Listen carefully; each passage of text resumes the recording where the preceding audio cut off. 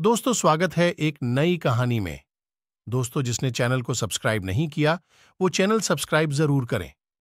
बीते महीने शिमला के कोटखाई इलाके में एक चौदह साल की बच्ची का गैंगरेप हुआ था। बच्ची के शरीर पर जले कटे के ढेरों निशान मिले थे। हालाँकि मैन स्ट्रीम मीडिया में इसका ज़िक्र कम ही हुआ था, मगर सोशल मीडिया पर खूब हल्ला था। स्थानीय लोगों ने हज़ारों की भीड़ जमाकर पुलिस के हाथ पर हाथ धरे बैठे रहने पर ढेरों सवाल उठाए थे। पुलिस का फर्जीवाद दहा बाहर तब आया जब हिरासत में लिए गए एक आरोपी राजेंद्र ने दूसरे आरोपी सूरज का कत्ल कर दिया। इससे पुलिस पर एक और सवाल या निशान लग गया कि अगर ये रेप जैसे सीरियस गुनाह के आरोपी हैं तो हिरासत में एक दूसरे का कत्ल करने पर कैसे उतारू हो सकते हैं?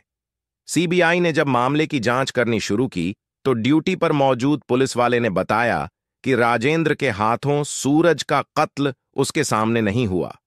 सीबीआई का मानना है कि रेप की जाँच करने वाले पुलिस की स्पेशल इन्वेस्टिगेशन टीम, एसआईटी में बड्ढा झोल है। राजेंद्र के हाथों सूरज की हत्या के बाद सीबीआई ने एसआईटी में शामिल आठ पुलिस वालों को गिरफ़्तार कर लिया है। इसमें एसआईटी का नेतृत्व कर रहे जहूर जैदी और डीएसपी मनोज कुमार जोशी भी शामिल हैं। क्या है पूरी कहानी?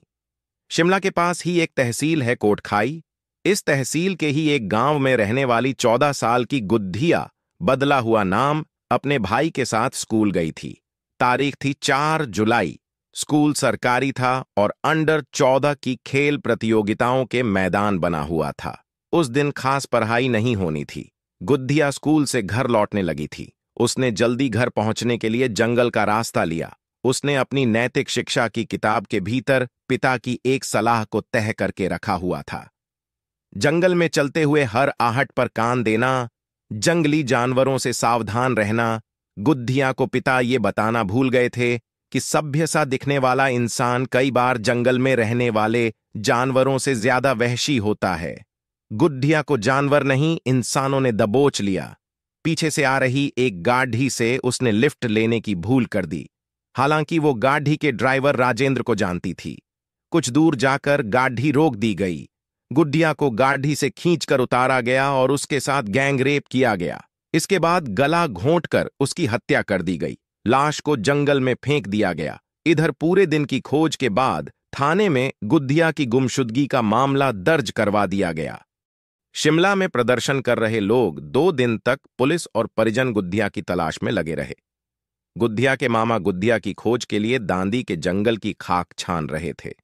सबसे पहले उन्होंने गुद्धिया की नंगी लाश देखी। हत्या को दो दिन हो चुके थे और लाश को कीढ़े लग चुके थे।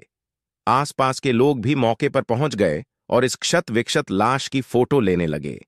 बाद में ये फ़ोटो सोशल मीडिया पर वायरल हो गई।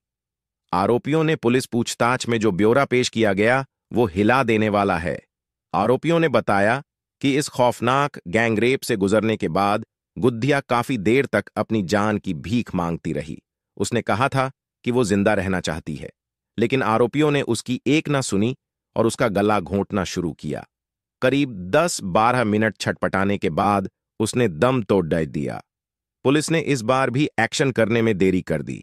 इस बीच गुद्धिया की क्षत विक्षत लाश की तस्वीरें सोशल मीडिया पर वायरल होने लगीं और लोगों का गुस्सा फूट पड़ा शिमला से शुरू हुए प्रदर्शन ने जल्द ही पूरे पहाड़ी को अपनी गिरफ्त में ले लिया। प्रदर्शन चल ही रहे थे। इस बीच मुख्यमंत्री के आधिकारिक फेसबुक अकाउंट से 11 तारीख की रात चार आरोपियों की फ़ोटो पोस्ट की गई।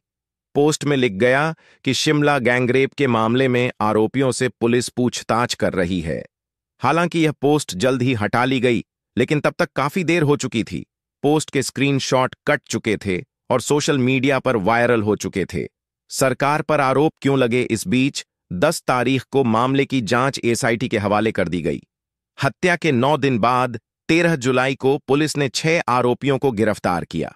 पुलिस ने इसे बड्ड ही कामयाबी बताया, लेकिन ये वो मौका था जहाँ जाँच संदेह के दायरे में आ गई। मुख्यमंत्री के फेसबुक अकाउंट से जिन चार युवकों की तस्वीर शेयर की गई थी, वो रसूखदार घरों से आते हैं। सरकार पर आरोप लगा कि वो आरोपियों को बचाने के लिए बेगुनाह लोगों की बलि ले रही है। पकड़ दाधे गए, छह आरोपी थे। राजेंद्र सिंह उर्फ़ राजू, सुभाष बिष्ट, दीपक, सूरज सिंह, लोकजन और आशीष। लेकिन पुलिस की तफ्तीश कई सवाल छोड़ा दैच जाती है। मसलन, वेन, अगर गुद्धिया की मौत 4 जुलाई को हुई थी तो उसकी लाश पूरे दो दिन तक जंगली जानवरों से कैसे बची रही? डू पुलिस का कहना है कि गुद्धिया की लाश के पास से उसके कप डिडे बरामद किए गए हैं। पाँच तारीख को उस इलाके में भयंकर बारिश हुई थी। ऐसे में कपद्धे मौका ए वारदात